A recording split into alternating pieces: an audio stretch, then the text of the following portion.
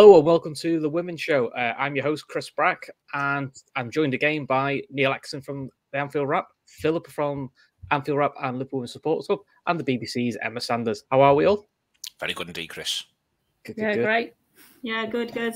We're all happy after a win, aren't we? We're all still smiling, which is good. so, so second show. So you know we're a month, about a month into the season now. So I thought this would be a good time for us just to do a bit of a where the where, where we where we lie in the league and how things are going. So you know, for those who don't know, the we've had four games of the league so far. We uh, lost the opening game to the Lionesses one 0 We beat Watford in a nervy three two in the end. Uh, this uh, nil nil with Bristol, and then first home win of the season, uh, a big two one against Palace, and a really good really good performance. So Neil, how are you feeling about the opening four games? I think what's what's important for, for listeners to to know if they've not been able to keep up with the, the wider picture, and it's all the people who keep me up with the wider picture. I, I, I need to be honest about that. Is that while seven from those four isn't great, it's only two points off the pace. Everyone's took points off everybody else so far. That's worth sort of pointing out. You know, so Charlton have got themselves a game in hand against Lewes, which if they win, they go on to nine points as well. And Sheffield United and Durham are in that position too. And I think that ultimately this is if this is going to be a drag out sort of season, then that's you know I don't know if that's ideal or not for this Liverpool women's side, but it's important that you know to to contextualise those results by pointing out that you know Liverpool so far they find themselves in that position. Uh, Bristol, who we were concerned about, having come down from the WSL uh, as, as a genuine challenger, they've uh, they've only got themselves four points so far, including that draw against Liverpool too. Um, so you know that's worth worth bearing in mind. Um, Watford do look as though everyone will, will will have a riotous time against them at this stage. They've already uh, lost four from four, so I think Liverpool could have done the starting a little stronger given the nature of the competition that they've been up against. But ultimately, absolutely nothing is in any way, shape, or form undermined by seven points from four games. And as ever in football, it's very much about what they do next. And if they take the two one victory against Palace as a springboard into what will be tough away games against Coventry and against Sheffield United, uh, Sheffield United, especially Coventry, a little bit less so. Then from there, they've got themselves a, a platform to build on. Cool. So, Philippa, you know, we've been we've had three home games now. So, I sort of feel like as the season's gone on, and it's only four games old, the home games, the performances have improved, and I think we've been a bit more lively in them. Uh, to be fair, the away performance against Watford, for those who didn't see it, Liverpool battered Watford for the first first half, and probably should have been more than three goals ahead, and just a little bit of uh, sloppiness in the last probably 15, 20 minutes made it a bit closer than it closer than it has been. But what do you think about the home form so far? Um, I mean, it was obviously really disappointing in the first game against London City Lionesses that we we lost that game one 0 um, I actually felt really disheartened after it because I, I, felt we really needed to get off to a good start. Um, and it's a game that for me we should have been winning. Um, but I think they've had a strong start to the season as well. So again, it kind of brings things into a little bit more perspective. I think when once you get to see where teams are kind of ending up in the table um, at this point, I know it's still only early days, but when you've only got 22 games, I think you can already start to see kind of where teams may well roughly end up, sort of thing. Um, but then the Bristol City game, um, I thought we performed a lot better in that game. To be honest, it looked like the, the team was a lot fitter. Um, you know, I, I know they had issues in pre-season with COVID and etc. So I think you know just that extra bit of time together. Um, you know, it's a fairly new new side with all the new signings as well. I think that really helped. Um, and we, you know, in that game, we actually went down to 10, 10 players, um, and I think that that you know, we showed quite a lot of grit and fight in that game. And when we were down to the 10, to me, we're the better side. We were the stronger side. We were the one that looked like more likely we were going to score. Um, and then, you know, Lewis ended up going down to 10 as well. And it just ends ends up with both teams, I think, maybe deciding that it's better not to lose it than to win it.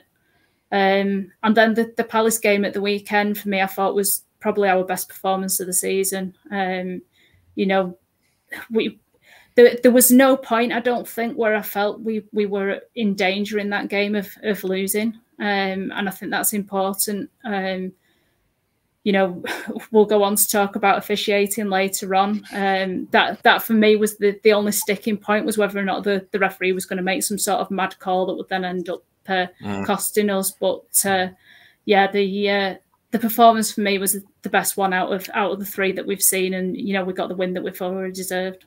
Yeah, I can't lie. Uh, anyone who sat next to me, especially my eight-year-old daughter, uh, I was not calm for the last ten minutes. I was up and down, f bombing and all sorts. I had an eight-year-old calm me down because I couldn't, I couldn't cope anymore with it being still two-one. But when once the game's over, and you got a bit of hindsight thinking, you know, they, to be fair, they, they cope with Palace pretty comfortably in the end. Uh, but yeah. the big thing, Emma, probably in the Palace game was, which we probably haven't haven't been able to do in previous seasons, a bit of flexibility in the formation. You know, going three four three. I can't remember last time Liverpool played a back three, and it seemed to bring out the best in. Um, you know, Leighanne Robe. I mean, Jazz Matthews had a really good start to the season, and it's a good way of bringing Meikayla Moore. It sort of hid the fact that we didn't have uh, such a big personality and good player in Niamh Fahey. Yeah, massively. And actually, when you look at the squad that we've probably had over like the last, I don't know, I guess two years or so, yeah, we brought in new new players and such, but we've had strong centre backs and we've had a lot of sort of defense defensive minded midfielders or versatile players who can play in back four positions as well as in midfield. So it kind of made sense to obviously play three at the back, but five it was it was five at the back out of possession. Um, so it kind of made sense to do that when you've got kind of so many defensive minded players in the squad.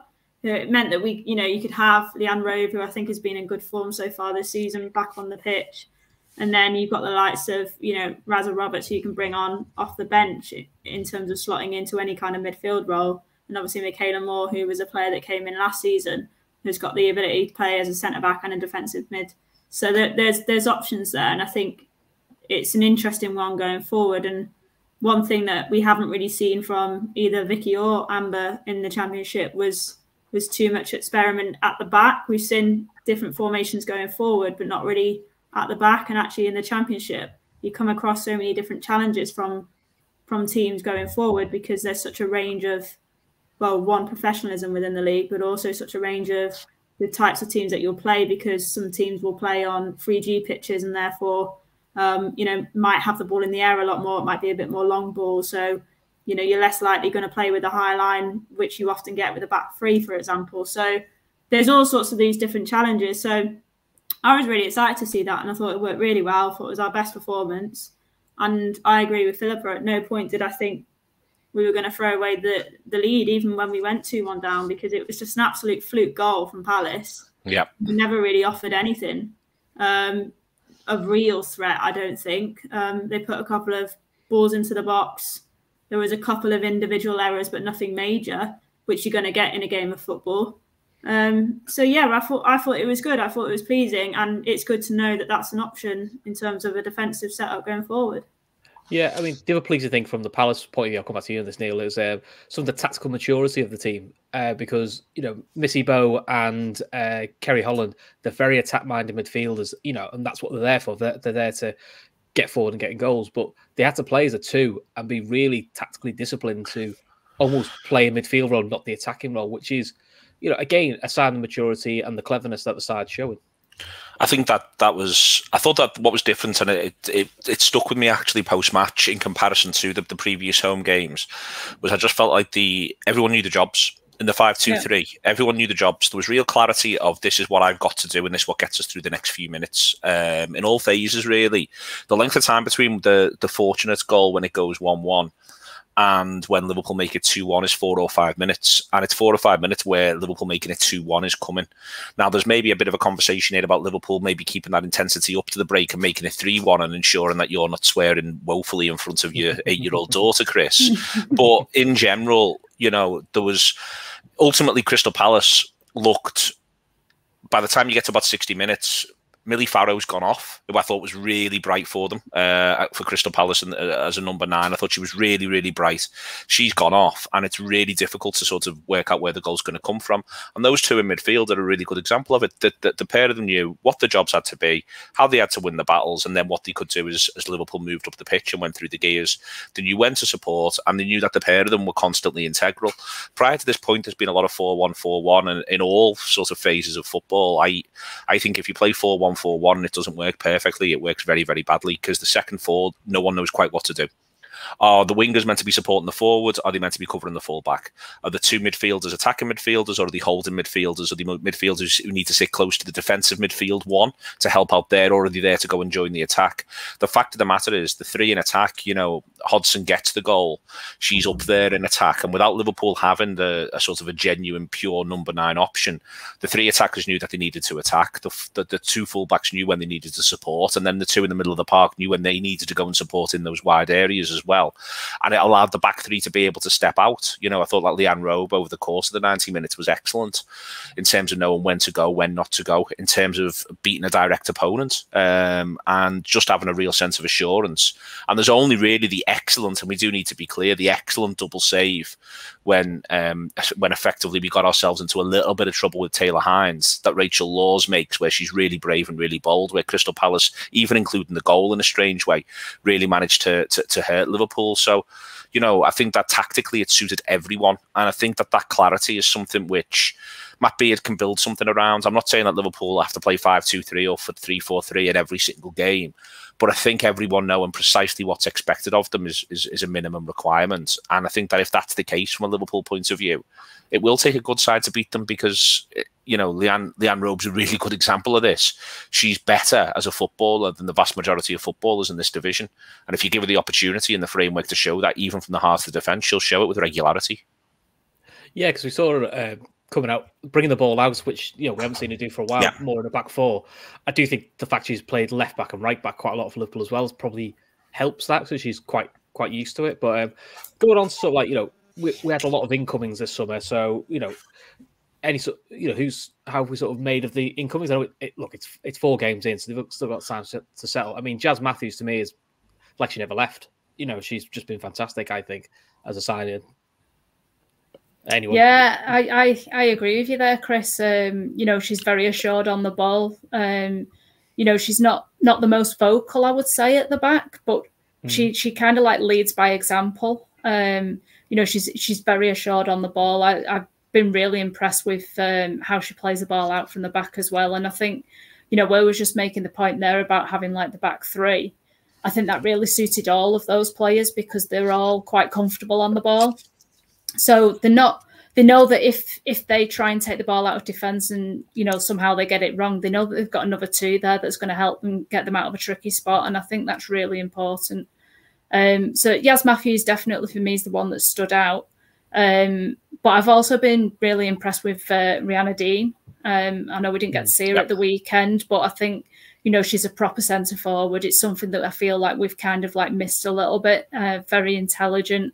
Um, you know, it's just a shame that she was injured at the weekend. Hopefully, we see her again now in the next few games, um, because I think that's something that this this side kind of need because uh, that is the one criticism I'd have of them at the weekend was that we didn't turn that second goal into a third and a fourth goal uh, when ideally that's what we all want so that we're not yeah. swearing at our eight year old daughter. Uh, yeah, yeah. yeah. Um, I could, that's got to be the gift that isn't it, for the whole show. yeah, exactly. that's, that's how um, stressed so, I am. How much am I swearing? That's how you know how stressed I am.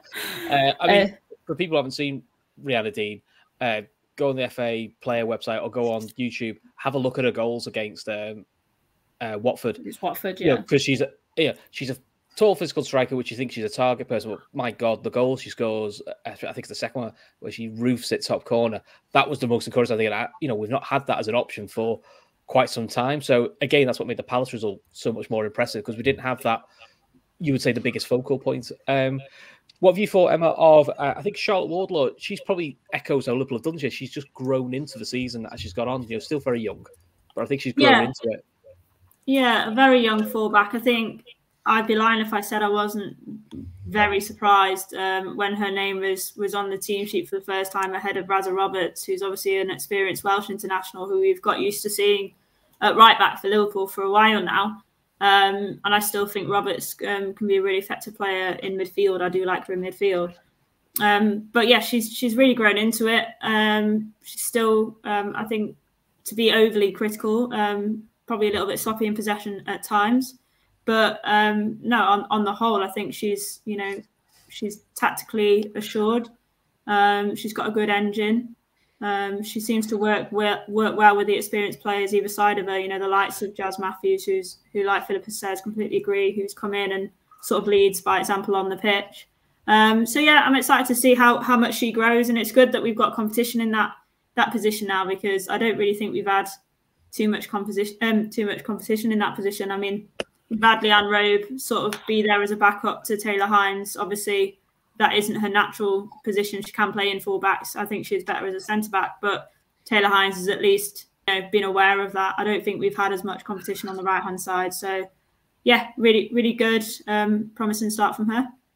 Yeah, then probably the other incomes we've had really is only a handful now. It's probably there's only Leanne Kiernan who has played yep. quite a lot of football for us, and Carla Humphreys has come on as an impact. So the rest of the signings we haven't actually really seen I, of, to be honest.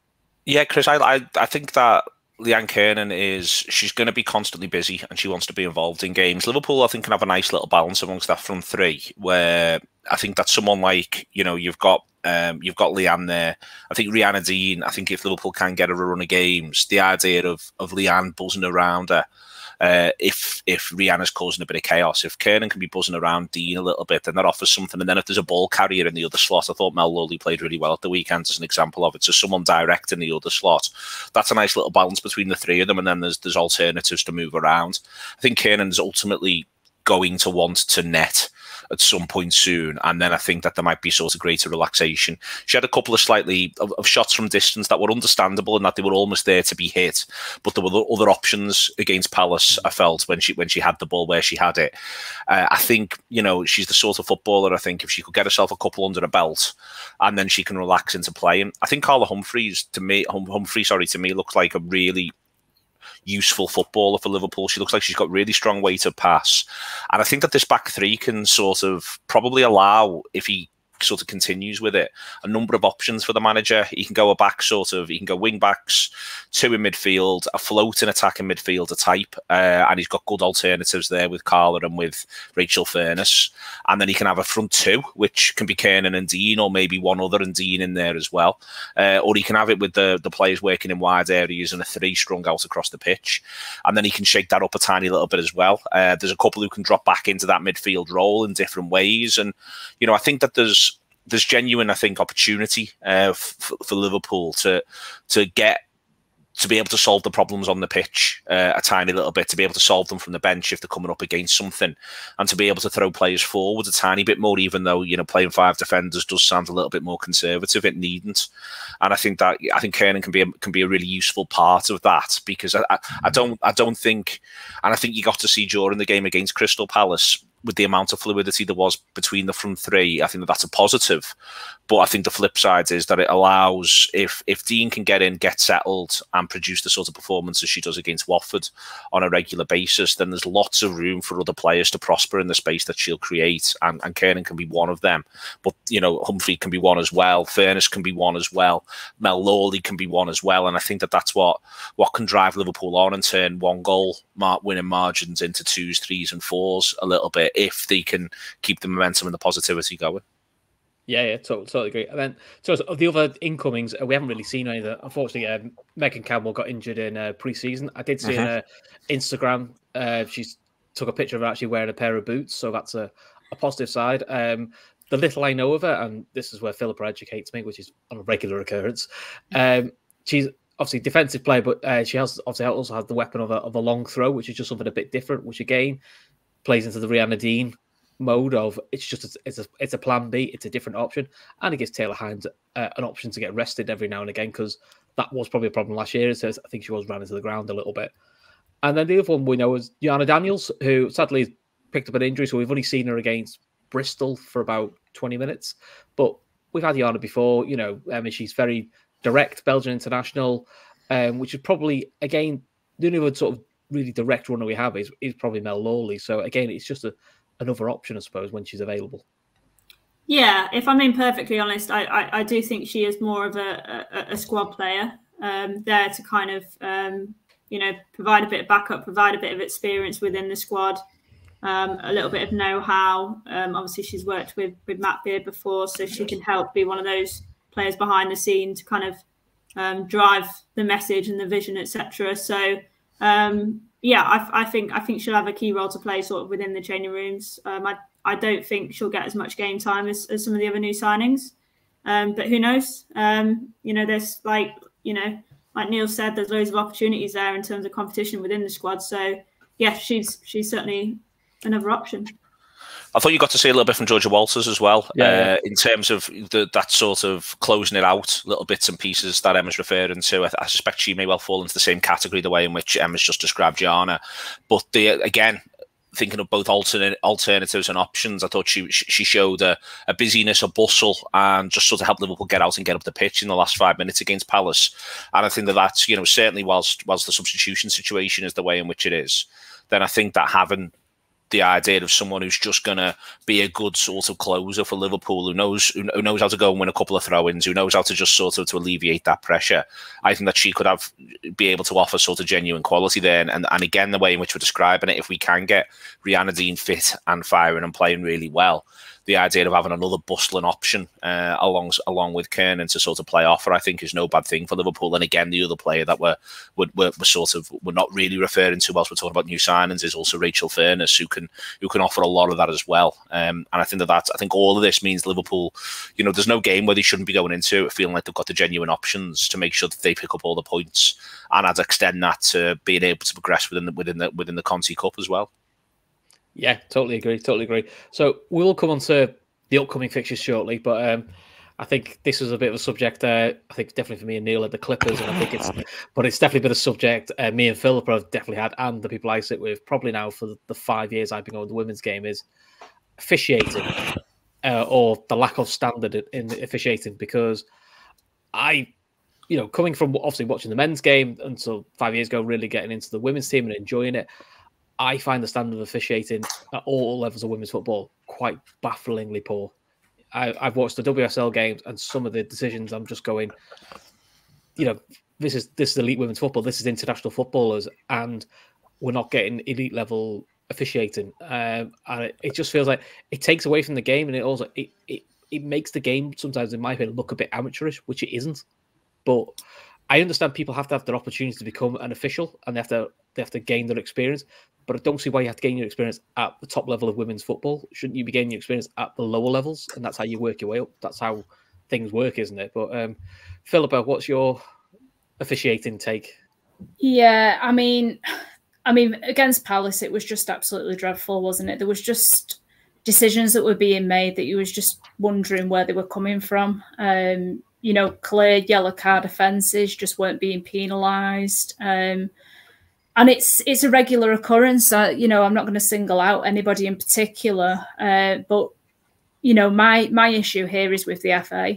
Uh, you know, if they're serious about women's football and you know they want to drive it onto a level that that it is this elite game that they seem to want it to be, then they need to make sure that the officiating, you know, complements that. And at the moment, it really doesn't. It's it seems to be that you've got your Premier League officials, you've got your Championship officials, you've then got the rest of the men's game, and then the women's game gets what's left. And that to me just isn't good enough if you're serious about you know wanting it to be the best women's league in in the world, which is you know what they seem to be suggesting, and yet they don't back it up with you know the people that they get to to be in charge with the whistle.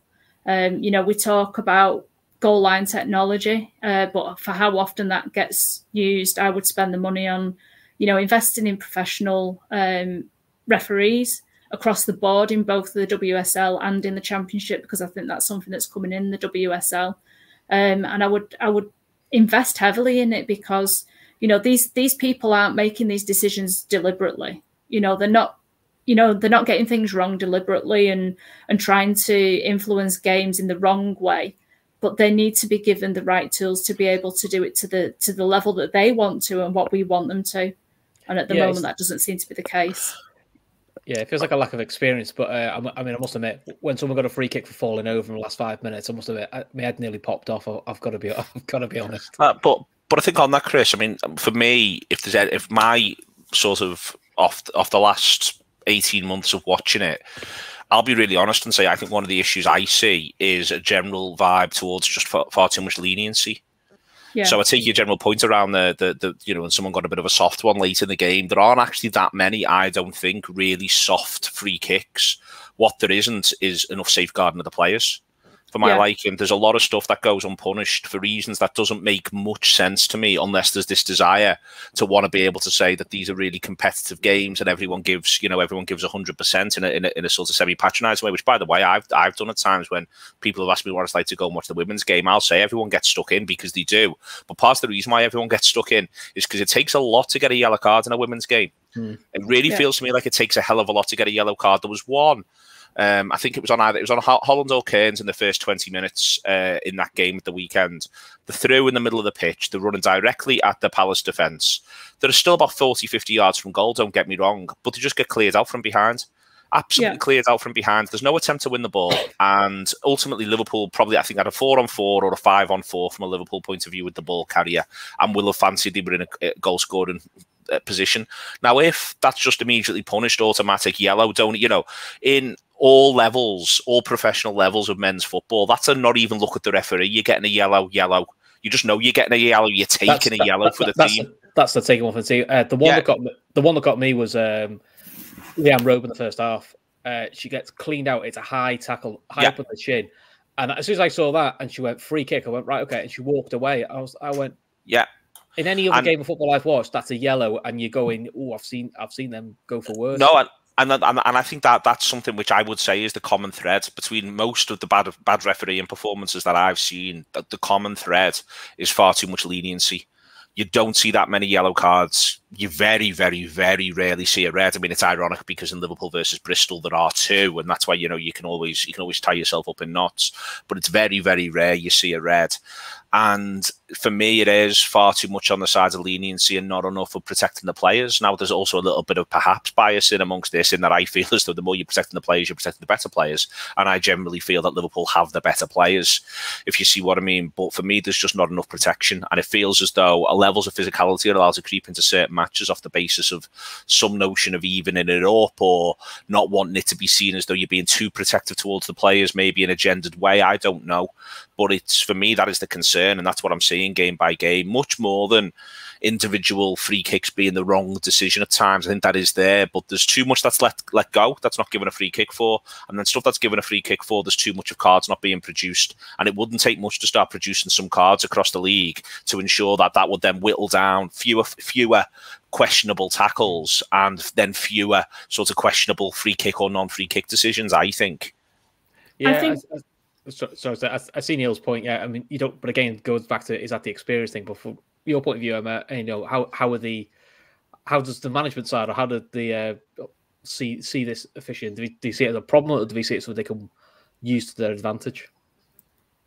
I've, I mean, it's a good question. Um, I think it's a really complicated complicated issue within the women's game, and I think there's a lot of elements to it. I think you've got one, the professionalism of the game has absolutely outraced the, the amateurism of the officiating we I remember having a, a sit down roundtable with the um, the FA and officials towards the end of last season. I think it, it might have even been in the summer, um, and we were basically you know in terms of the media had kind of lost our rag a little bit and had basically a dis- discussion with them on on why amateur referees weren't becoming professional, why money wasn't being invested by the FA and um, what really surprised me was um, we were told that actually a lot of these officials don't want to become full time.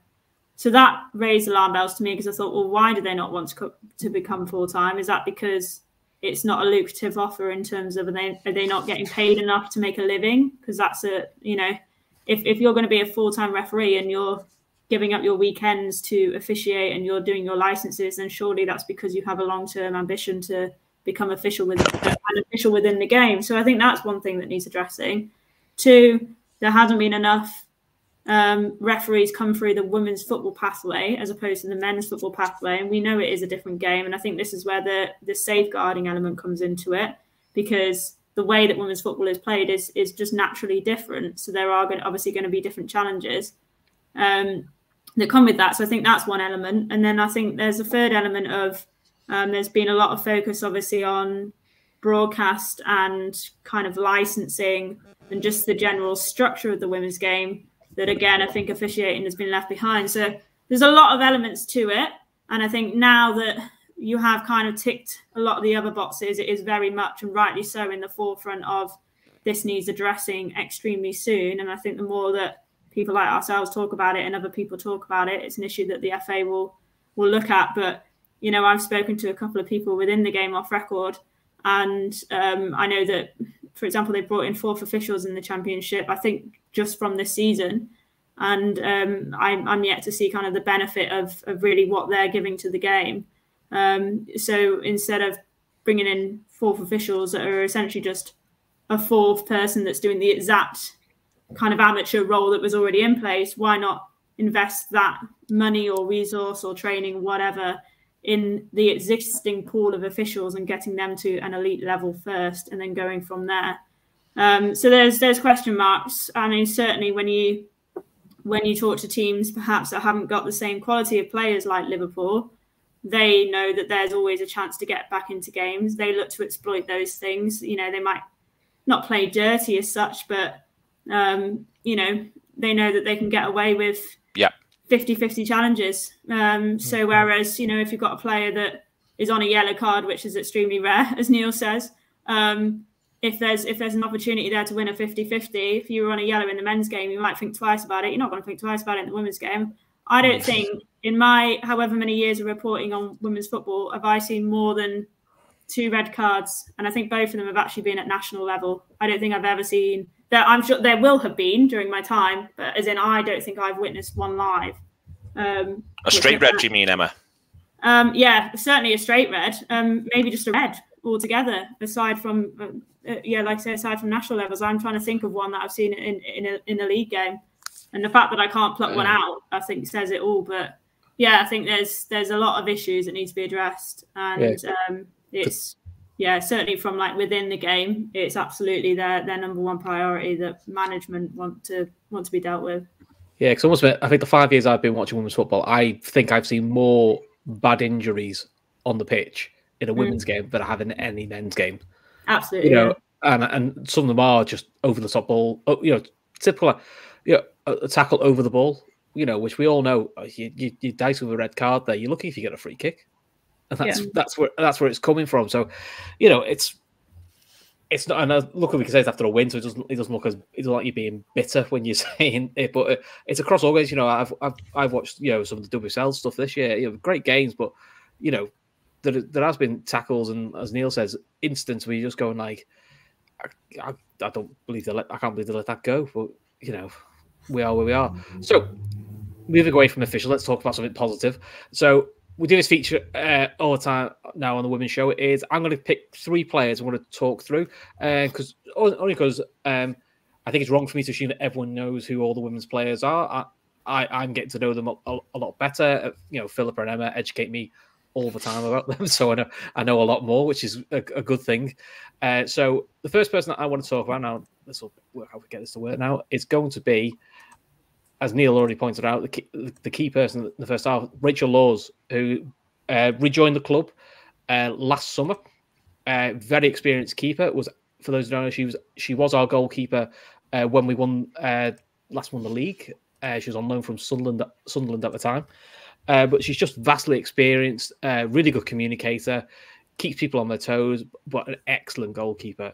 which, to be honest, has been an area that we've probably had a, a bit of concern around for the last two or three years What's your opinion, Neil? I think she looks excellent. I think that you got to see, you know, the showcase of the double save, but I think that she very much is a full penalty box goalkeeper, which I think is is is very very good for Liverpool, and especially if they want to play as high a line as they did uh, the other day against Palace, which they should want to do, as far as I'm concerned, as much as possible. I think she's also quite clearly a terrific communicator. We got to hear a lot of that last season when there was no one in the ground, uh, but I think that she's she, she, she's good in terms of keeping people honest and keeping them aware. I also think the distribution's good and should be at times better respected by a teammates. I thought there was a couple of times last game uh, where for both the back three um, and for Laws, um, there was there was times where people just need to be a bit more on their toes. They were going to get the ball passed into passed into a sprinting position. You know, they were going to get a, a, a pass with information on it that was going to send them a couple of yards further forward. And in the end, some of it just sort of went dead to touch because people were on the heels a tiny bit. I thought that that was a minor problem with Moore at the right hand side of centre half position, uh, and it was also a problem spraying the ball out to both fullbacks at different times. And I think that Laws wants to be progressive. To me, she looks the absolute epitome of the sort of footballer Liverpool should want to be part of taking them back into the WSL, in that she also still looks utterly determined to improve and to be part of a really progressive football outfit. I, I think she's I think she's an excellent player. I really do. I think Liverpool are fortunate to have her. Uh, to be quite honest with you, and I think that, as I say, I think she can be a massive part of, of what this side does that's successful this year but we've got to play to her strengths, capitalize on her strengths, and everyone's got to be aware that you know if you're going to get a ball from Rachel Laws, it's not going to be a soft one. It's going to be absolutely pinged into you, and she's going to you're going to be where she wants you to be. And I think that if Liverpool can continue to sort of work on that, it gets you three, four, five yards further up the pitch as a starting position, and then from there everything can be more progressive. You know, this isn't just the idea that she's a very good shot stopper, which she is. She's good coming for crosses. You know, I'd be I'd be surprised. We obviously haven't seen everyone yet turn up to Prenton Park or seen everyone play Liverpool over the course of the season. But I genuinely would be surprised if there was a better goalkeeper in the division than Rachel Laws. And I feel as though there probably there won't be more than five or six who are in a class even the division above. Liverpool have got to you know be be grateful that they've got her. I think Rylee Foster's a good good player as well. I hasten to add. I think Liverpool mm. have got the two of them there, and they, they should be really pleased with that. But the way you keep them both and keep them both happy is by succeeding. And succeeding in this instance is, is, is Rachel back playing WSL football and then Rylee able to play the cup competitions this season and next season.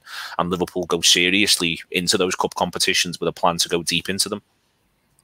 Yeah, totally, totally agree. And uh, Emma, we were talking about it uh, after the Palace game. Um, the one thing she does, which is we all call it the dark arts. She's great at falling on a ball, delaying it, little things that are, they're all little things, but they're things that you just need to get a result of the line. And I do think that brings a bit of a calmness around the defense of the team is we'll see a game out and I will show you how to see a game out, which I do think is something we've sometimes missed a little bit with, um, you know, not disparaging too many keys out in the past, but I just think she's a cut above what we've had probably the last couple of years.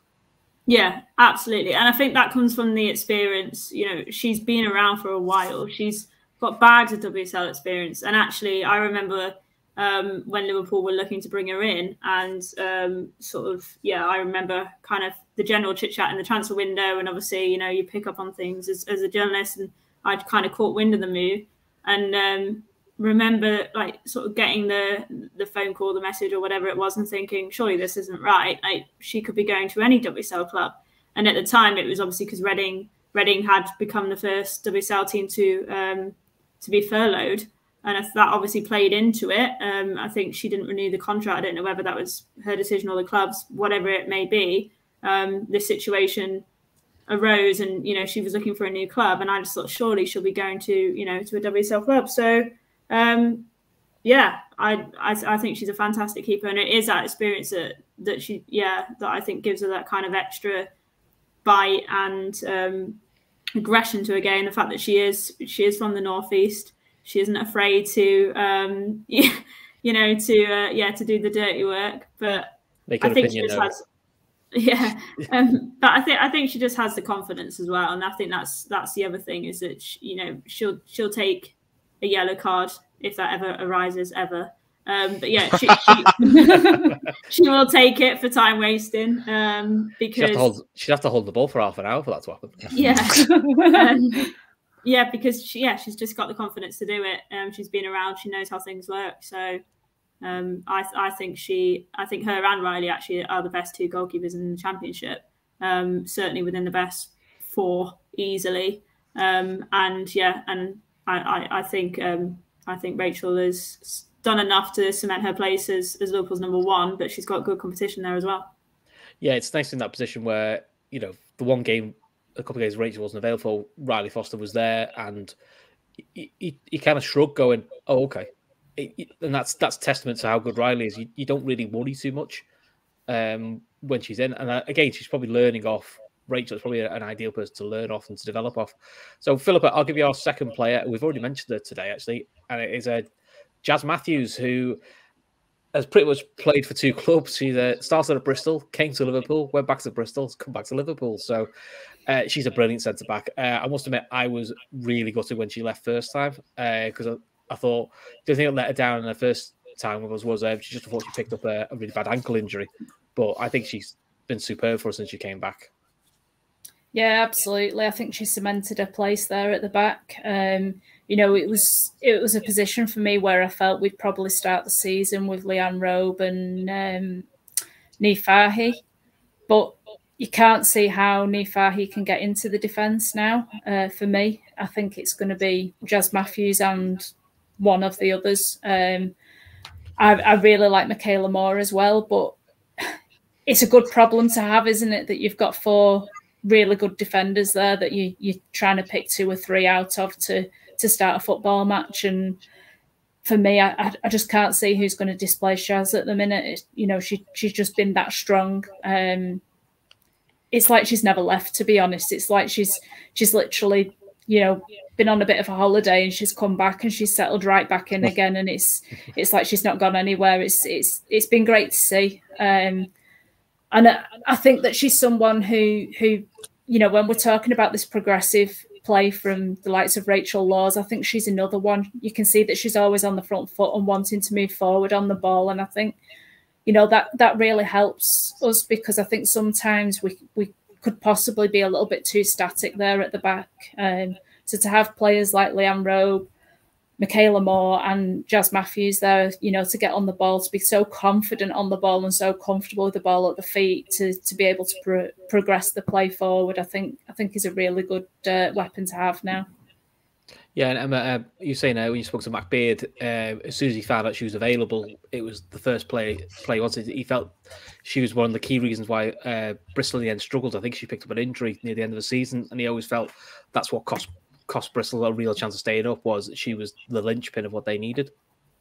Yeah, and it was interesting what Philippa there was saying in terms of like her ability on the ball because that was another thing that Matt said. She said uh, he said not everyone saw it at Bristol because Bristol were often kind of on the back foot, especially towards the end of the season. Obviously, they were fighting against relegation, and um, yeah, teams were coming onto them. So you kind of saw her defensive side, um, but one thing he was keen to stress was was that ability that she has in terms of um, playing the high line, controlling the line, um, sort of reading situations off the ball, coming into into the spaces in, in midfield, making those kind of punchy passes to you know bypass um, midfield and, and and use the kind of the wide players that, that we were playing with against Palace. So um, I think we saw we saw glimpses, a very good glimpses of what she can do. And actually, I don't think we probably used her enough against Palace, which sounds mad when I'm talking mm. about a centre back, but we've seen it. Um, to put it into context for you know fans who follow the men's game, we've seen the impact Van Dijk can have on the ball in terms of you know um, starting attacks from that kind of deep central position. I think Jazz has the ability to do that um, with this with this women's team, um, depending on the setup, depending on the opposition, and and, and so forth. But um, yeah, Matt Matt absolutely was delighted to to bring her in and said that yeah she was she was very much his priority person, if not in that priority list of players that he wanted to bring in. So um, yeah, she for me is is probably the one player um, that is absolutely nailed on a starter in that in that defence, whether or not it's a back four or a back three. I'm putting her in straight away. Fair enough, fair enough. And then the final player, I'll come back to you, Neil. The final player um, is actually uh, Jazz's partner, uh, who was uh, brilliant at the weekend, uh, Leighanne Robe, who, uh, if she starts against Coventry, which we all expected to start against Coventry, will make her 50th appearance for the club.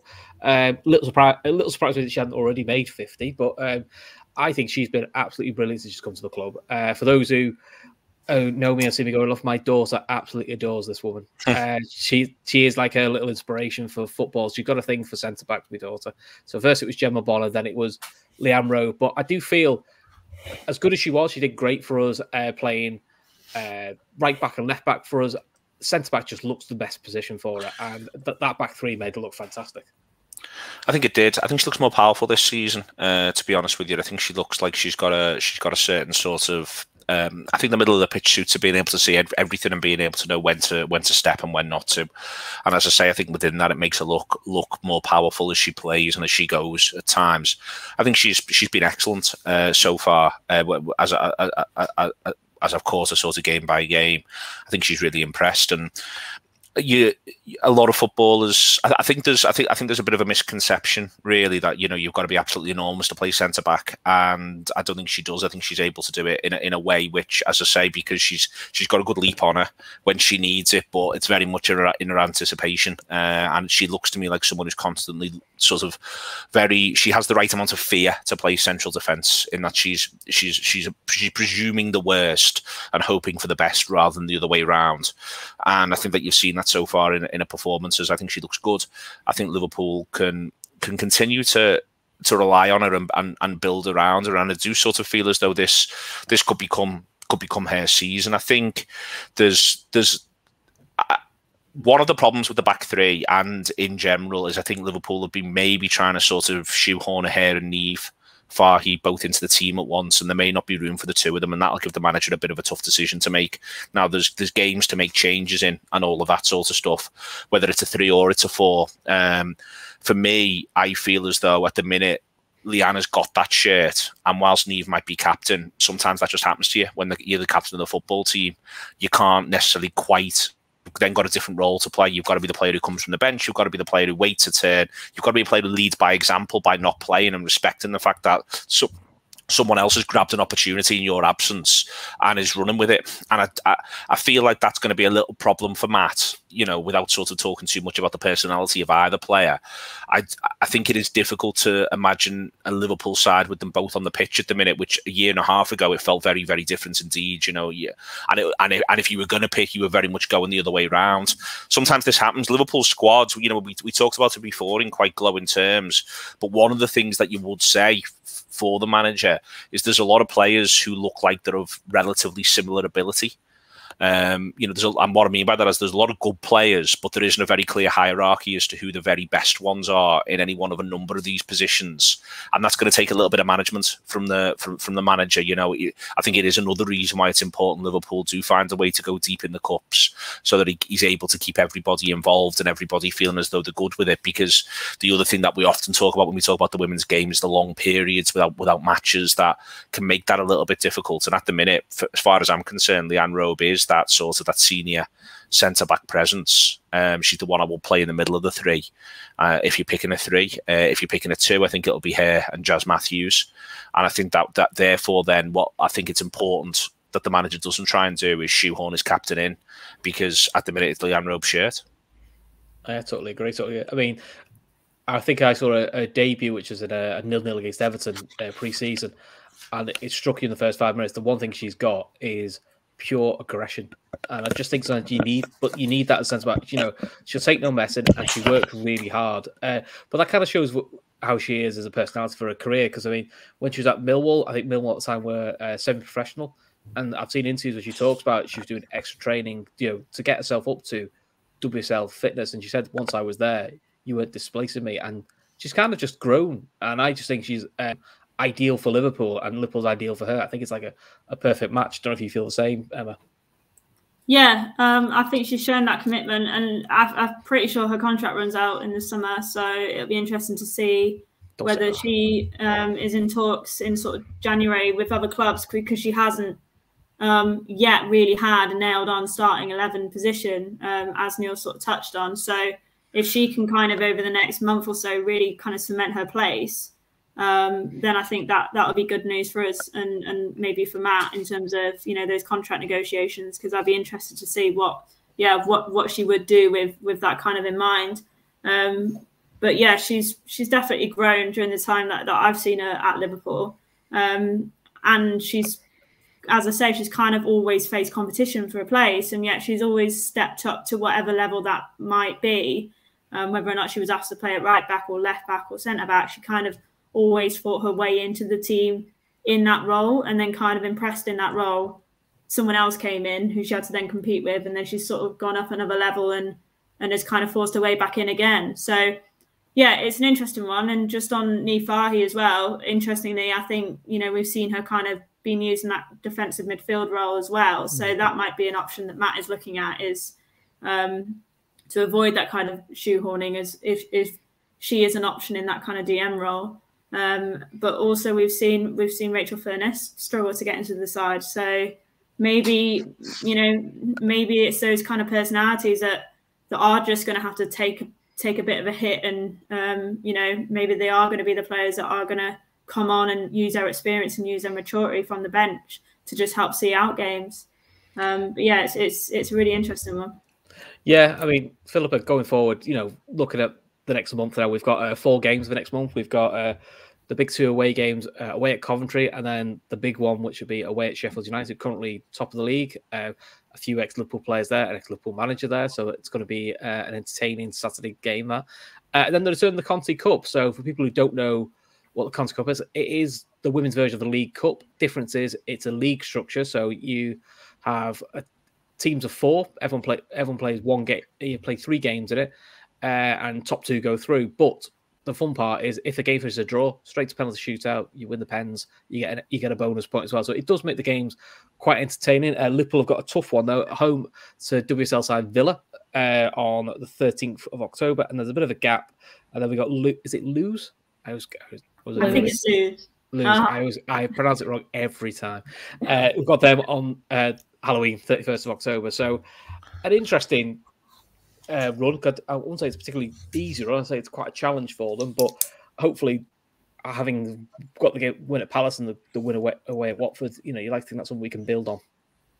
Yeah, absolutely. I think that's the thing we've got to do is we've got to take the positives out of the the Palace game uh, and move forward with them. You know, I, I kind of feel like this side is one that that needs confidence. Um, so they need a run of two, three, four wins on the bounce, and then I, I really do get the impression that they could be flying. Um, but they need to get those. And you know, to have two away games now on the back of the Palace game is is kind of the one where you like ideally we'd like to be at home and i think the the coventry game i, I believe is on a 3g pitch as well so you know it adds in that little bit of a an unknown as well and it's something that we really struggled with last season those 3g pitches so you know i hope it's something that the club have worked on it's something that matt's aware of that you know we need to to bear in mind as well and you know maybe adjust things slightly for that um, but you know, if we're being honest here, if we look at our squad and we look at our starting eleven, comparing to either of um, you know Coventry United or or Sheffield United, you know, you would pick Liverpool's to be starting the game and to, and to be winning those games. And you know, I know Sheffield United are at the top of the league at the moment, but if we're serious about getting promoted, you know, we should be going there and and, and winning those games. You know, the game's being played at Bramall Lane as well, so it's it's it's a good pitch to be playing on. It's one where the fans can go. I think it's a pound as well for the tickets, which you know I, it's international break as well. So get as many fans down there as possible and, and try and turn it into a bit of a home game as well. Um, you know, I'm really excited about that one. Um, and then the Conti Cup, I know it's one that Matt's hinted that he's going to make wholesale changes for because his his priority is getting us promoted this season, and that's perfectly understandable.